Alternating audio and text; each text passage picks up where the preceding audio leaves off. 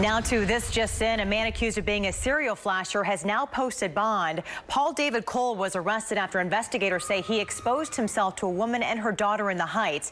Here he is in handcuffs, and here is now his booking photo. Cole does have previous indecency charges, and he is a registered sex offender. Channel 2's Marianne Martinez joining us live in the Heights tonight. And Marianne, investigators believe that he has exposed himself to others as well.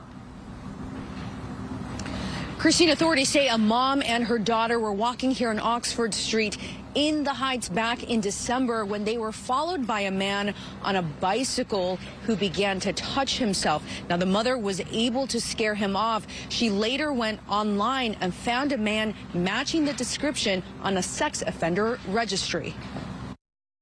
They're just doing their job. This man has now been charged with exposing himself to a mom and daughter back in December. The constable with Precinct 1 believes more cases will be linked to Paul David Cole. Just last night, one of our units went to a house where they uh, said he did the same thing. One of the cases being looked at is this woman's story. Paula doesn't want her face shown. She says she was gardening when a man drove up and began touching himself. She was able to get his license plate and gave it to authorities. Well, they say these things escalate, right?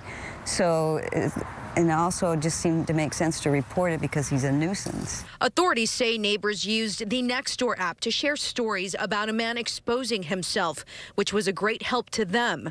One thing many people did not do was report what happened to authorities.